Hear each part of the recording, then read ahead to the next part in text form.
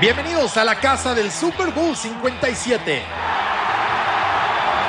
La mejor transmisión la podrás vivir por la Octava Sports y Radio Centro Deportes.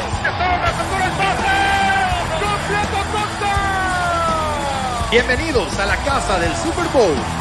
La Octava Sports, Radio Centro Deportes y el equipo de máximo avance. La casa del Super Bowl 57. Mi casa es tu casa. Compañeros, qué gusto saludarlos aquí desde el Radio Road de nueva cuenta, en un día que sigue fluyendo con mucha información, eh, con un mensaje que, que, la gran parte de los villamelones como un servidor y evidentemente el planeta Tierra pues quería ver pues, esa Rihanna empoderada, una mujer, eh, una afroamericana, una caribeña que sabe que, que es su momento y que va a venir un show de 13 minutos espectacular. Ya estaremos desglosando un poquito más de lo que se vivió justamente aquí en la parte alta. Pero, pero vamos, ha habido muchísimo, eh, todo el equipo y el despliegue eh, que viene justamente a Phoenix. Eh, por ejemplo, Coach Manja, de, primera mano, platicando con los jugadores de los jefes de Kansas City, de las Águilas de Filadelfia. Ya lo estaremos desglosando. mi querido Coach Manja, qué gusto que te incorpores a esta cobertura. Además, sabemos que lo vamos a pasar maravilloso, incluso en la transmisión del próximo domingo, etcétera, etcétera. Pero lo que es una realidad es que se acortan estos días y ya se pone el nerviosismo a tope para tener uno de esos grandes Super Bowls gracias a las dos franquicias que llegan, las dos mejores de la temporada. Sí, veas, eh, Arturo, y se empieza a sentir ya realmente la euforia, el ambiente de, Super Bowl. Platicamos con los jugadores de los Chiefs y ellos están conscientes de lo que están viviendo. Harrison Butker nos decía, en el momento que a mí me necesiten, yo sé que los pateadores hemos ganado Super Bowls, hemos ganado el juego importante y yo me he preparado mentalmente para eso. Frank Clark también comentaba, vamos a enfrentar a la mejor línea ofensiva de toda la NFL y mentalmente nos hemos preparado para eso y yo estoy listo y les voy a regalar cualquier cantidad de sacks, decía Frank Clark. Entonces empiezas a vivir ya ese momento, esa energía, esa pasión por parte de los jugadores de que ya están a unos días del gran juego. Oye Arturo, ¿qué, se trabaja? Eh, ¿Cuál es la diferencia esta semana? Que, que sí lo disfrutas, que sí lo vives, pero ¿qué se trabaja en esta semana? ¿Cómo, cómo lo haces? ¿Videos? Eh, qué es lo que realmente empieza a pasar por cada una de las franquicias. son dos semanas de preparación al juego. Obviamente, eh, la primera detectas qué es lo que tiene el rival, ¿no? Es, estudiar primero, sacar el scout, qué es lo que quieres ejecutar y también terminar de instalar ciertas cosas que estás esperando para poderlas ejecutar hoy. Llevas a lo mejor trabajándolas, ¿no? Seis, ocho semanas, pero no lo has desplegado y eso vas tú paulatinamente avanzando para que tengas la oportunidad en un juego en el cual quieres tener algo bien puesto, bien instalado, en el que nadie lo ha visto y sorprender al rival. Obviamente hay tendencias y hay eh, un panorama muy claro lo que tiene que hacer Kansas City, por ejemplo, es la conexión con Travis Kelsey, aunque ha repartido el balón con un montón de gente y hay eh, estrellas que pueden aparecer, le sucedió a Marcus Valdez Cantling en el juego anterior y del otro lado es un equipo que corre mucho la pelota, pero siempre buscan tener algo que pueda ser el factor X en un partido en el cual si está trabado, ese tipo de jugadas te puede dar la victoria. Ahora, coach, justamente en esta preparación que se da, que en estos momentos es a la par, evidentemente ellos saben que, el posicionamiento de este producto llamado Super Bowl, pues cada vez es más poderoso, cada vez más atractivo. Pero creo que nos hace falta volver a tener eh, un Super Bowl de estos que, te llenen, ¿no? Que, te hagan vibrar, que te hagan, que te hagan sentir que, a lo mejor se puede definir en las últimas este, jugadas que es parte como de esta construcción que se tenía. Vamos a ponerlo en el ejercicio de la postemporada pasada, se acordarán.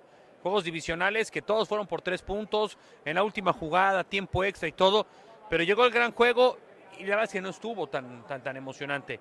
Ahora creo que, por ejemplo, el caso de Filadelfia, el caso de las Águilas, no han tenido realmente un, un rival digno en la postemporada, lo hemos dicho en otros espacios, no solamente no han tenido un rival digno en la postemporada, ¿Cuántas veces no lo platicamos en la semana? Me acuerdo que antes de irme al, Mundial decíamos, son ciertas estas águilas de Felicia, están aquí. O sea, ¿están listas para entregar ese gran juego el domingo? Sí, ahora los ingredientes están para que se dé. Tienes a la ofensiva número uno, que es la de los Kansas City Chiefs, al mejor coreback que hay en la NFL con Patrick Mahomes, tienes al mejor a la cerrada, que es Travis Kelsey, del otro lado tienes a la mejor dupla de receptores de Davonta Smith y AJ Brown, el mejor ataque terrestre, tienes a Jason Brady que está teniendo una gran postemporada. O sea, los ingredientes están para que nos regalen un, Super Bowl de altas emociones, de jugadas grandes, de alto nivel y muy competitivo que se puede definir en una de esas jugadas, en una de esas big play que te haga cualquiera de los playmakers que tienen estos equipos, porque realmente los tienen. Vamos a escuchar a los protagonistas de la historia, si les parece. Empecemos con los de los Chiefs de Kansas City. El mismo Pat Mahomes, ¿eh? que es, oh señor todopoderoso hoy por hoy de este juego.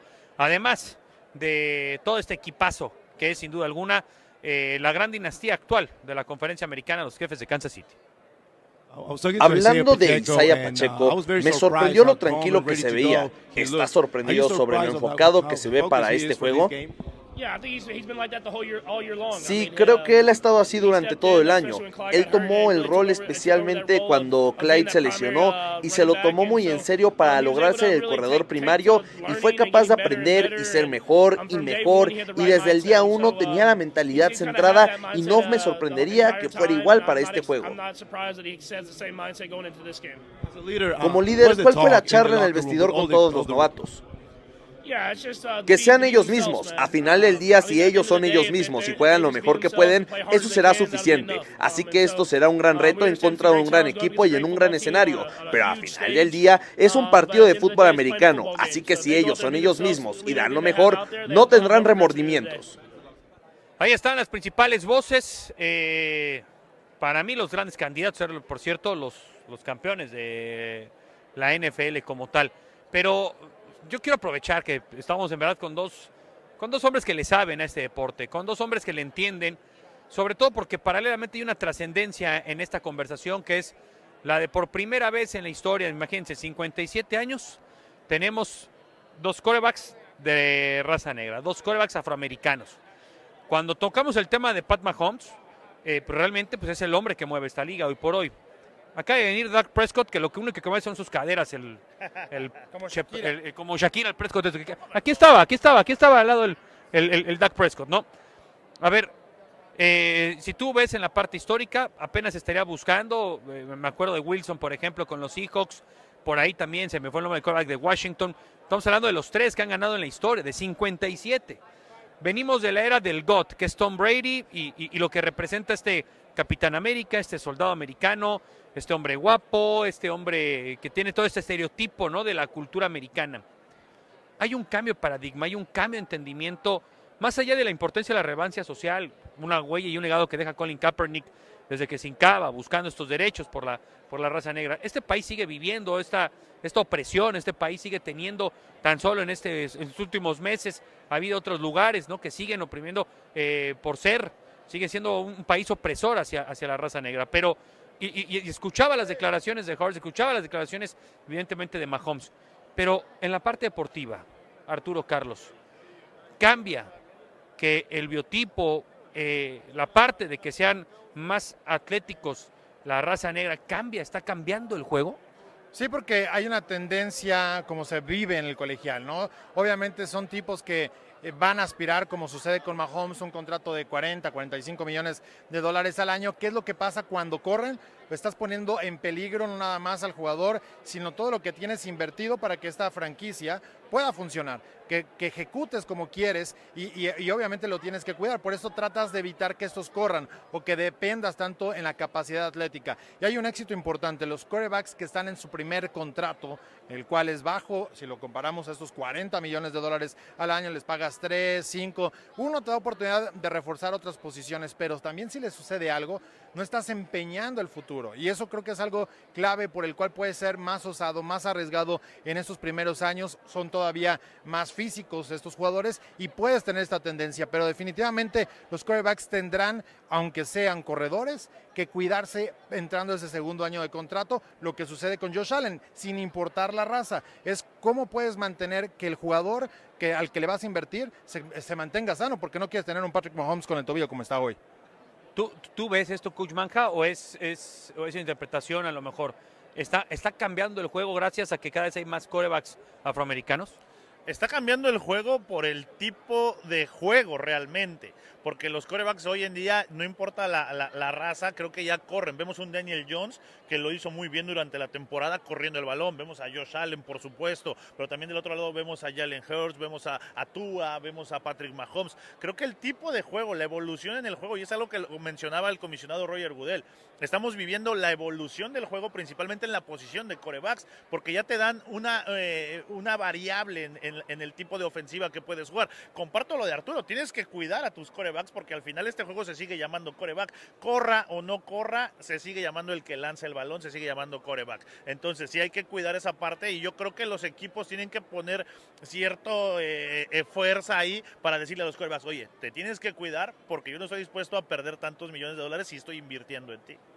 Eh, no, no, no, empieza a pasar también el fenómeno de que de pronto entonces ya ves que los protagonistas también podían ser ya de color, ¿no? O sea, para mí sigue siendo un tema, tema racial. Entiendo que a lo mejor es una interpretación de un servidor, pero este empoderamiento también que, que, da este Super Bowl es bastante poderoso, ¿no? Pero yo puedo añadir el que también las tendencias van cambiando eh, para estos jugadores. Antes era el tomar la pelota y corro, ¿no? Hoy viene esta, esta, esta evolución también del juego en el RPO, que es corro, ¿no? Paso, o tengo la opción de quedarme yo el balón y ejecutar. Entonces, eh, este tipo de circunstancias que lo veíamos en el colegial, llegando al profesional, todavía confunde mucho a las defensivas porque no están tan acostumbrados y puede ser ese, esa cosa que te, dé la chispa, que cambie el momento del juego y por eso estamos viendo la tendencia en que todos los equipos o la mayoría de ellos estén buscando implementar esta oportunidad para este tipo de situaciones. No como una base del juego, pero sí como una eh, oportunidad ante verte estancado en la ofensiva que puedas despertar en el ataque. Pues si les parece, ahora vamos a escuchar a los protagonistas de la historia por parte de las Águilas de Filadelfia. Esta charla que ha tenido todo el equipo acá en las oportunidades que hay. Qué diferencia, ¿eh? Trabajar, la verdad, en la NFL que con otras ligas. Aquí se sientan todos, hablan todos, analizan todos. Una auténtica chulada. Creo que es algo significativo y es algo que la cultura debe estar orgullosa de, así que saldremos y veremos qué tal. Es algo grande y ver cómo la liga se envuelve, nunca había pasado algo así. Claro, es algo increíble. Cuando crecía y era coreback en la preparatoria, veía cómo muchos niños soñaban con esto. Así que creo que esos niños que están creciendo pueden ver al mejor juego del mundo y ver dos corebacks de raza negra y saber que ellos pueden también hacerlo. Es algo, es algo inspirador. Es un momento inolvidable para el juego. Es algo loco en un juego donde los afroamericanos han estado por mucho tiempo. Y el hecho de que este sea el primer Super Bowl con dos corebacks afroamericanos es algo muy bueno. Es algo bueno que esto por fin pueda suceder con ellos dos rompiendo ese periodo es un momento increíble para la NFL.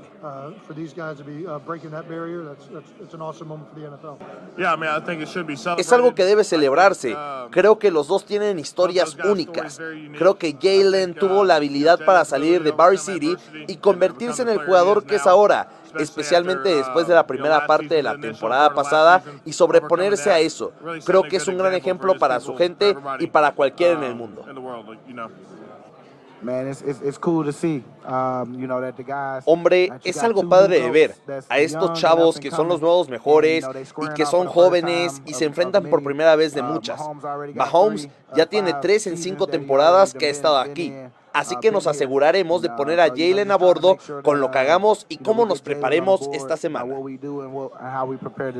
Y bueno, ya para despedirnos, Coach Manja, Arturo Carlos, si quieren mañana platicamos un poquito más largo y tendido del show de Rihanna pero mejor vamos con David Andrade que nos platique eh, todo lo que pasó y lo que sucedió y escuchar, evidentemente, hablando también de esta importancia, esta relevancia eh, cultural que hay hoy por hoy con los mensajes del NFL, gracias a partir de, la, de los afroamericanos. Bueno, pues va a estar ahí Rihanna, que viene además de cantar eh, la canción de Wakanda Forever. Sí. ¿no? también, también hay muchas cosas. Hay muchas cosas. Hay mucho simbolismo, pero mejor vamos con David. Adelante, David.